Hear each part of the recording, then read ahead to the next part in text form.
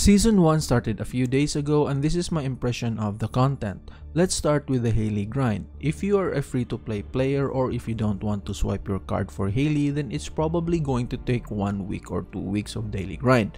Now, the developers did in fact increase the drop rate in infiltration operation for Hailey's material and in my experience, I usually get 2 materials out of 10 runs. I don't mind this, but I don't think that this is enough for players with limited time.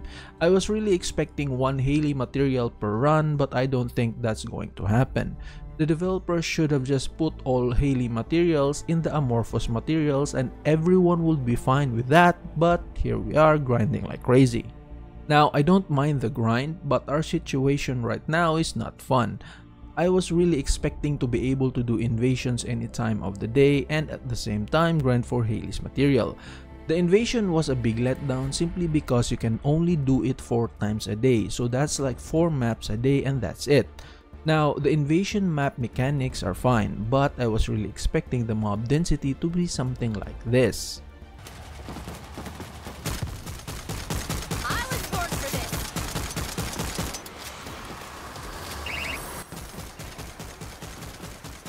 This is my expectation. I really thought that I was going to be fighting a lot of mobs in the dungeon, but in my experience, I was more focused on the puzzles. Now, the puzzles are fine. It's not really that bad. It's not that easy, but it's also not that hard. But I really want more mobs in the dungeon. I want an output for all the modules that I farm and all those crystallization catalysts that I used, but there's not enough enemies in the room. My expectation was really high, but this is a big disappointment. I only need Hailey and that's it, since I already have everything. I'm already Master Rank 26 and if you guys don't know, if you want to get to Master Rank 26, you have to craft all the Descendants, all the unique weapons, and level up all of them. I don't get why the invasions can only be accessed 4 times a day. The way the developers sold this content is actually very exciting and appealing, but when it is limited, it just cuts off your enjoyment of the content.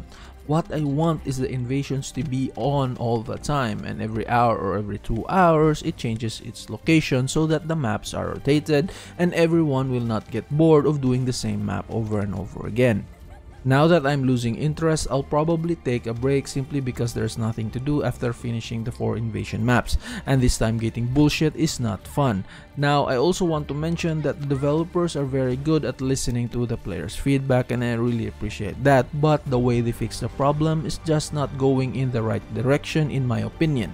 I just don't understand why we can only run 4 invasion maps per day, that's the biggest issue they really don't need to change the drop rate for Hailey's material. What we need is access to the invasion maps because that's what they have been advertising. But because they want this content to last for 12 days, then this is what we are going to get. I also don't know what will happen if you miss a day because I don't think that the numbers of invasion attempts will stack but if you guys know let me know down in the comments below. We also have the inversion reinforcement but in my opinion all these buffs are useless. It's a good addition but I just can't feel the benefits of the buffs. The developers did mention that they are going to improve the inversion reinforcement so that's great. For the battle pass, I've never bought a battle pass in my entire life and I'm going to keep it that way. But from what I've seen and read, there's a lot of people who are complaining and dissatisfied about how bad the new battle pass rewards are. I was really excited for this season but I lost all interest and I feel discouraged. The only change that I really enjoyed is the module socket changes. It is one of the best changes in the game. This change opens up a lot of build diversity and I'm really happy for this change. All in all, this season is really not great for free-to-play players. I will still log in and do the invasion events and after that I will just log out since I have nothing else to do.